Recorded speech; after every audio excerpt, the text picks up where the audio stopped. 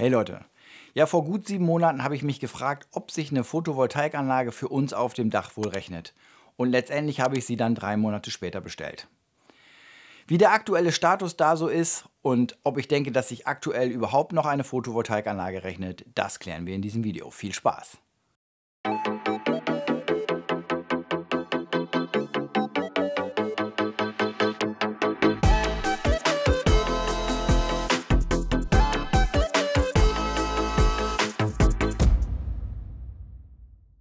Ja, wie gesagt, es ist nun ungefähr vier Monate her, dass ich die Anlage bestellt habe. Und man hatte mir in Aussicht gestellt, dass die ganze Sache im Februar installiert werden würde.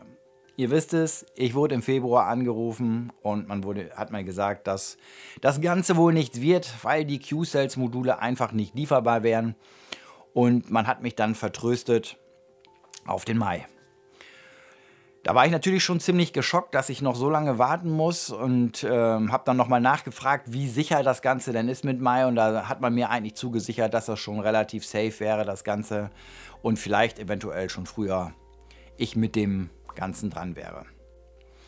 Ja, jetzt haben wir Mai und was soll ich euch sagen? Ich bin letzte Woche von meinem freundlichen Solateur angerufen worden und man hat mir kleinlaut mitgeteilt, dass man immer noch nicht lieferbar ist, beziehungsweise dass die Q-Cells-Module leider immer noch nicht verfügbar sind. Und noch, was noch viel schlimmer ist, man mir auch nicht sagen kann, wann das Ganze verfügbar ist. Also der Solateur bestellt direkt beim Hersteller, nicht über einen Großhandel oder ähnliches. Und der Hersteller kann keine Aussage darüber treffen, wann die Module wieder verfügbar sind. Und der Solateur hat mir dann auch gleich gesagt, sollte ich weiter auf diese Module warten, würde es vermutlich für mich auch nicht die Generation 9 werden, die ich bestellt hätte, sondern die Generation 10, die mit Sicherheit 50 Euro pro Modul mehr kosten würde, allerdings dann auch mehr Leistung hat. Statt 390 Watt, die ich bestellt hatte, 410, 415 Watt. Damit könnte ich sicherlich noch leben. Mit dem anderen Angebot, was er mir gemacht hat, habe ich ein Problem. Und zwar hat er mir in Aussicht gestellt, wenn ich die er oder die verfügbaren Module, die er hätte von SolarWatt mit 375 Watt statt 390 von mir bestellten, ähm, die hätte er direkt verfügbar und ähm, sie hätten auch drei Jahre mehr Garantie. Und ähm, leider kosten sie auf meine 21 Module gesehen ca. 1000 Euro mehr. Das heißt also weniger Leistung für mehr Geld und ja, mit den 15 Watt weniger hätte ich noch leben können, auch wenn es dann nominell mehr eine 20 Modul statt eine 21 Modul Anlage gewesen wäre, aufgrund der fehlenden 15 Watt Leistung. Aber ähm, da hätte ich noch mit leben können. Aber mit den 1000 Euro mehr, muss ich ganz ehrlich sagen, habe ich schon ein kleines Problem. Und ich weiß nicht wirklich, ob ich das machen sollte oder nicht. Auf der anderen Seite ist es sicherlich so, dass die Wahrscheinlichkeit, dass ich eine Anlage mit Q-Cells-Modulen dieses Jahr noch aufs Dach bekomme, eher verschwindend gering ist. Das kann natürlich relativ schnell gehen, dass die Bauteile wieder verfügbar sind, aber es hört sich nicht so an und ja, ist irgendwie eine sehr unschöne Situation. Vielleicht habt ihr ähnliche Erfahrungen, dann teilt es mir gerne mit in den Kommentaren, auch wie ihr darüber denkt, ob ihr sagen würdet, schlag da ein Ei drüber, zahl die 1000 Euro mehr, dann hast du die Anlage schon oder sagt auf, auf jeden Fall warten, dann hast du auch die neueren Module. Ist schwer zu sagen. Ich bin natürlich schon ziemlich hyped auf diese Anlage. Auf der anderen Seite bin ich eigentlich nicht bereit, 1000 Euro mehr zu bezahlen für was, was auch noch eine schlechtere Leistung hat. Insgesamt von den Werten, wenn ich sie so einfach mal nominell miteinander verglichen habe, waren die SolarWatt-Module den Q-Cells-Modulen auch unterlegen. Ist schwierig, da jetzt ähm, eine Aussage pro SolarWatt zu treffen. Ja, kommen wir mal zum Thema, ob sich so eine Solaranlage im Jahr 2022 noch lohnt und ob ihr da zugreifen solltet oder nicht. Wie bei allem im Leben kann man nur sagen, it depends. Also man kann es wirklich nicht wirklich genau sagen, macht es auf jeden Fall oder nicht. Wenn ihr es nur unter dem ökologischen Aspekt seht und Geld für euch keine Rolle spielt, brauchen wir natürlich nicht weiter reden. Dann lohnt es sich natürlich immer. Dann lohnt sich es auf jeden Fall auch eine Anlage mit Speicher zu nehmen. Dann habt ihr eigentlich nicht die, ähm, das Problem, dass ihr euch über irgendwelche wirtschaftlichen Sachen Gedanken machen müsst. Ähm, je größer euer Dach ist und ihr es euch leisten könnt, dann macht euch das Dach voll, packt euch den passenden Speicher dazu und alles gut. Für die anderen, die ein bisschen nach dem Geld gucken müssen, da kann man sicherlich sagen, es kommt stark aufs Angebot an. Mein Solateur hat mir ja gesagt, dass meine aktuelle Anlage 20% mehr kosten würde, wenn ich sie jetzt bestellt hätte, mit Tendenz steigend. Hinzu kommt, dass die Module äh, nicht verfügbar sind. Ähm, da muss man sicherlich dann schon überlegen, gerade bei kleineren Anlagen, so bis 5 Kilowatt Peak, das hätte ich ja zu Anfang auch vorgehabt, wenn ich nur meine Südseite belegt hätte, dann wäre ich nicht über mehr als 12 Module, 12 bis 14 Module gekommen.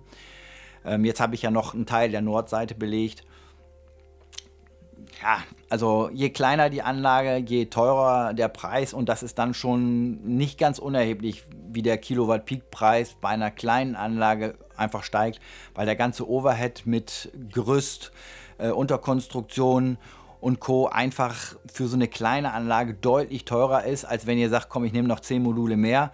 Ob dann bei der Unterkonstruktion als Beispiel die Stange noch 5 Meter länger ist, das macht dann vielleicht im Endeffekt 30, 40 Euro aus. Das Gerüst zum Beispiel wäre in meinem Fall, steht auch, ob du nun die Anlage mit 40 Kilowatt Peak baust oder mit 20 Kilowatt Peak, die Gerüstkosten sind die gleichen. Aber wenn du natürlich nur eine 5 Kilowatt Peak Anlage hast, zahlst du die Gerüstkosten halt auch, weil das Ding muss einfach stehen.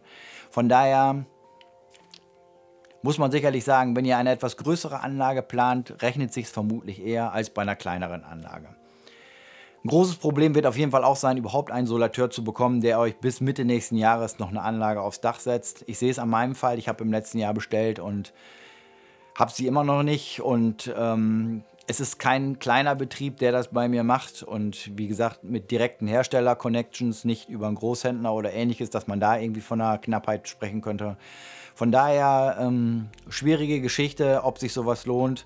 Ich würde vermutlich zum aktuellen Zeitpunkt, wenn ich nicht schon bestellt hätte, nicht mehr nochmal neu bestellen, weil ich einfach auch zum Zeitpunkt, als ich bestellt habe, gehofft habe, dass dann, wenn im nächsten Jahr, also wenn, oder wenn in diesem Jahr die Grünen am Hebel sind, dass da vielleicht einspeisevergütungsmäßig die ganze Geschichte doch noch ein bisschen attraktiver wird, dass sich so eine Anlage schneller finanziert.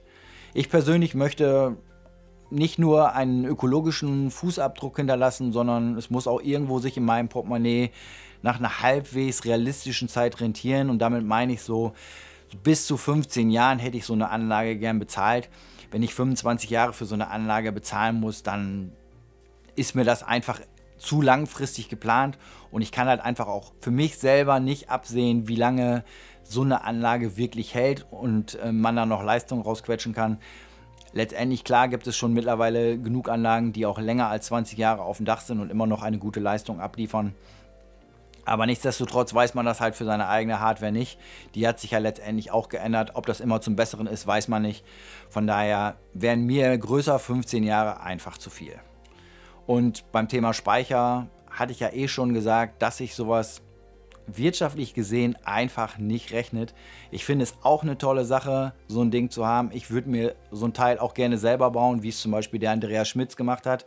Ich habe einfach nicht genug Expertise, auch wenn ich schon im Elektrobereich nicht komplett äh, unterbelichtet bin, aber das würde ich mir nicht zutrauen, auch aus der Gefahr, aus der Gefahrensicht her, sowas zu machen. Da muss man schon ein bisschen tiefere Kenntnis haben, um sich sowas aufzubauen. Ähm, aber er sagt halt selber, sein Akku mit größer 10 Kilowatt Peak äh, oder größer 10 Kilowattstunden Akku ähm, hat irgendwie dreieinhalbtausend Euro gekostet, weil er ihn sich selbst mit den einzelnen Zellen zusammengebaut hat. Und er weiß auch genau, wann irgendwo eine Zelle kaputt geht, wie er die wieder austauschen kann. Dann ist das einfach eine super feine Sache. Ähm, für den gleichen Akku, sagt er selber, würde man sonst einen fünfstelligen Betrag bezahlen und das rechnet sich dann einfach über die Lebensdauer dieser Akkus nicht, egal was man da rechnen will oder nicht. Und wenn Leute euch was anderes erzählen, stimmt das einfach nicht. Wie gesagt, generell bin ich schon jemand, der sagen würde, nimm, nimm einen Akku und wenn du das Geld dafür über hast, sowieso. Aber wenn du aus rein wirtschaftlichen Interessen das machst, so ist es bei mir, dann lohnt es sich einfach nicht.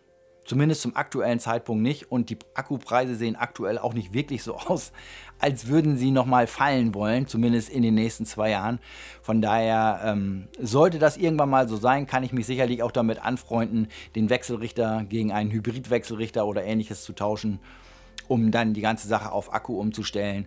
Aber zum aktuellen Zeitpunkt würde ich eher sagen, kaufe ich mir ein E-Auto und nutze den Akku als Speicher als dass ich mir einen Speicher ins Haus setze, um in der Nacht irgendwie meine, meine Lampen aus dem Akku speisen zu können. Ja, wie gesagt, teilt mir doch gerne mit, wie ihr die ganze Geschichte seht mit SolarWatt und Q-Cells, ob ich das Angebot annehmen sollte, die 1000 Euro einfach mehr zahlen, um die Anlage überhaupt dieses Jahr zu bekommen. Oder ob ihr eher darauf warten würdet und dann den Mehrpreis für die besseren Module bezahlen würdet. Ähm, würde mich sehr interessieren. Ich bin aktuell tatsächlich ziemlich hin und her gerissen und auch ziemlich gefrustet. Und ja, das soll es von diesem Video gewesen sein. Ich würde mich freuen über einen freundlichen Kommentar. Lasst doch gerne ein Like da, dann findet der Algorithmus auch meine Videos. Ansonsten sehen wir uns vielleicht in einem meiner nächsten Videos wieder. Bis dahin, bleibt gesund, bis bald und ciao.